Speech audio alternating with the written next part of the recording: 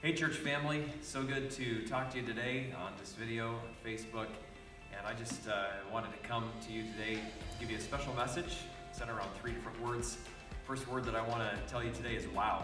And my wife and I were talking about the weekend, and wow just keeps coming to our mind uh, because of the great surprise that it was to honor us for our 10 year anniversary of the church and just everything that went into that, the effort that it took, the outpouring of love and appreciation was so encouraging to us.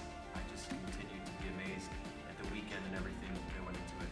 The second word that I want to say is thank you. Uh, thank you for the weekend. Thank you for your appreciation of our ministry. Thank you for the love gifts and for the notes and the comments and the words of appreciation. It means a lot to me as a pastor, to my wife, to know that you have appreciated our ministry here uh, because really I, I, feel like we should be saying thank you to you as a church. You've been a wonderful group to work with. You've cared for us so well. And I'm just thankful personally to have a flock uh, that's so easy to shepherd. And it makes my job a joy. As it says in Hebrews chapter 13, it gives the command to churches uh, to make their shepherd's job a joy. And you guys have obeyed the scriptures reminded of the Apostle Paul as he says in Philippians chapter 1, I thank God in all my remembrance of you, always in every prayer of mine for you, making prayer with joy because of your partnership in the gospel from the first day until now.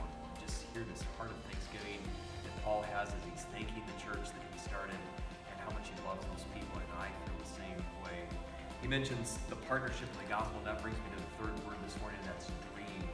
We're 10 years in, and I feel like we have a lot of work to do.